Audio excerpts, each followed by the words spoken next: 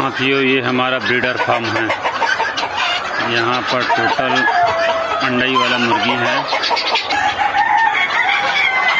ये भी टोटल सोनाली का ब्रीडर है। ये अंडा उत्पादन के लिए मुर्गियाँ हैं। और इसमें बता दूँ दोस्तों, अभी इसमें डला है अंडे वाला दाना लेयर लेयर का दाना डला हुआ है। जस्ट अभी दाना डाले हैं, सब मुर्गियाँ दाना खाने के लिए झूमे हुए हैं। और यहाँ पर दिखा दो पानी, पानी पी रहे हैं। और बहुत सारी मुर्गियाँ अंडा देने के लिए बैठे हुए हैं। कोने में अंडा देने के लिए बैठे हुए हैं। यहाँ से हम लोग को पर डे पाँच सौ अंडा आता है हमको सोनाली से। और इसको अपने हैचरी में डाल के अपन अंडा निकालते हैं। दोस्तों, यहाँ पर अब हमारा गिनी फॉल है। गिनी फॉल गिनी फॉल भी है अंडा अंडा पर आ गई है, अंडा दे रहा है गिनी फॉल गिनी फॉल को बता दूँ दोस्तों गिनी फॉल फ्री रेंज में छोड़ने में बेहतर रहता है। मेरे पास में क्या है फ्री रेंज छोड़ने की जगह नहीं है। जगह है, पर भी अब बाहर में चरने के लिए कुछ नहीं है तो इसलिए इसको मैं बाहर नहीं निकाल पा रहा हूँ। गिनी फॉल मेरे पास बहुत सारा है, दोस्तों। सोनाली दिखाया, अब ये गिनी फॉल गिनी फॉल हो गया। आगे मैं आप लोगों को टर्की दिखाता हूँ। यहाँ पर हमारी टर्की मुर्गी है। और देखो दोस्तों, टर्की है। टर्की सब दाना वाना खाने में, दाना वाना खा रहे हैं। ये टर्की बैठे हुए हैं ऊपर में। और ये हमारे राजहंस हैं।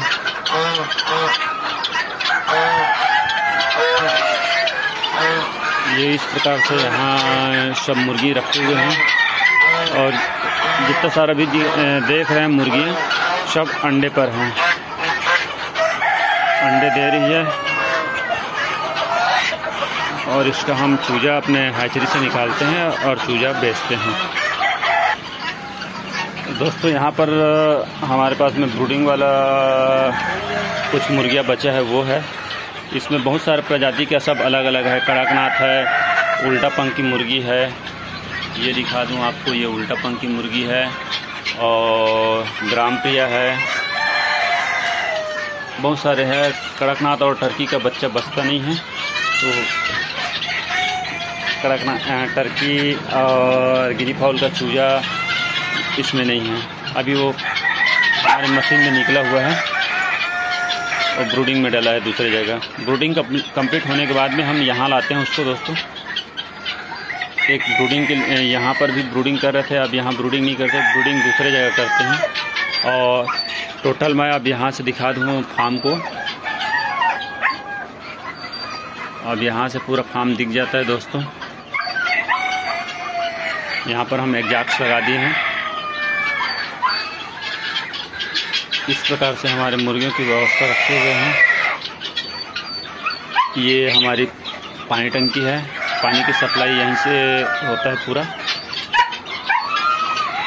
आगे तक पूरा कंप्लीट। ये है दोस्तों, और ये हमारी इलेक्ट्रॉनिक ब्रूडर है। पहले इसमें ब्रूडिंग कर रहे थे तो अब ये इसकी ज़रूरत नहीं है। तो ये दूसरी जगह जाएगा। दूसरी जगह फार्म पे। वहाँ ये बरसात लगने लगने वाला है तो बरसात और ठंडी में काम आता है। गर्मी में ये मशीन काम नहीं आता, ब्रूडर।